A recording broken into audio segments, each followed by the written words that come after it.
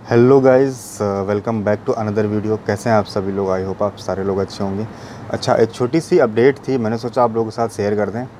Update उन लोगों के साथ बेनिफिशियल हो सकती है जो लोग अभी यूएई में स्टक्ड हैं विथ विज़िट वीज़ा के साथ जिन्हें ट्रैवल करना है और वो ट्रैवल करने में असमर्थ हैं।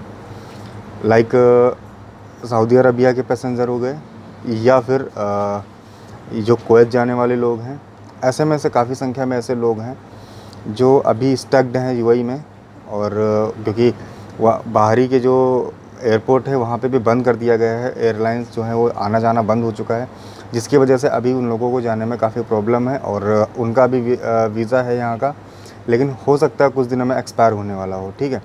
तो उस वीज़ा से रिलेटेड हमारे पास कुछ अपडेट है, हमने सोचा आप लोगों के साथ शेयर कर दें, और ये अपडेट कल की थी।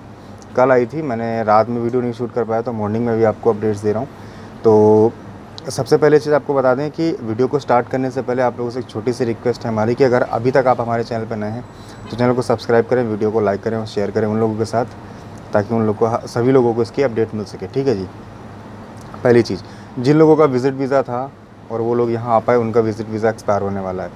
तो यू गवर्नमेंट ने ये अनाउंसमेंट किया है कि विदाउट फ़ीस, यानी विदाउट फ़ीस पेमेंट, यानी कोई भी फ़ीस नहीं पे करनी होगी, आपका वीज़ा वन मंथ के लिए जो है एक्सटेंड किया जाएगा बिना फ़ीस के, ठीक है? तो ये आप लोगों के साथ एक खुशखबरी है कि आप, अगर आप स्टक्ड हैं यहाँ पे तो एक महीने के लिए उनका विज़िट जो विज़िट वीज़ा है वो एक्सटेंड किया जा रहा है।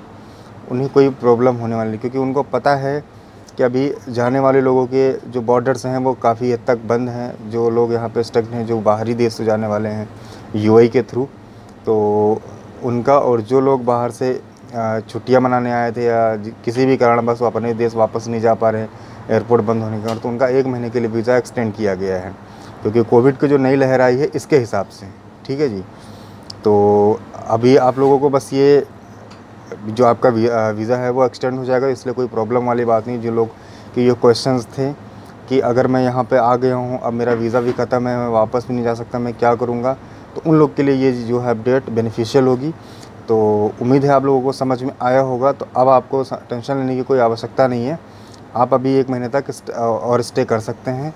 विदाउट फ़ीस पेमेंट कोई फ़ीस आपको पे नहीं करनी है। ये यूएई गवर्नमेंट ने खुद अनाउंसमेंट किया है गल्फ़ न्यूज़ के थ्रू गल्फ़ न्यूज़ के थ्रू और इसका जो लिंक है आपको डिस्क्रिप्शन में मैं डाल दूँगा। आप वहाँ से इसको देख सकते हैं। ठीक है जी? और भी न्यूज़ों में आया लेकिन गल्फ़ न्यूज़ का मैंने जो उठा के आपको बताया है तो जिसकी वजह से आपको कोई असुविधा का सामना नहीं करना पड़े मैं इसका लिंक डिस्क्रिप्शन में डाल दूँगा ताकि आप लोग अगर देखना चाहें तो देख सकते हैं ठीक है जी? तो ये छोटी सी वीडियो थी आप लोगों के लिए उम्मीद है समझ में आया होगा तो आई होप आने वाली वीडियो आपको अच्छी से अच्छी अपडेट मिलती रहेगी इसके लिए आपको एक आ, हमारे चैनल को सब्सक्राइब करना होगा और वीडियो को लाइक करना होगा। मिलते हैं किसी नेक्स्ट वीडियो में thank you so much watching for my this video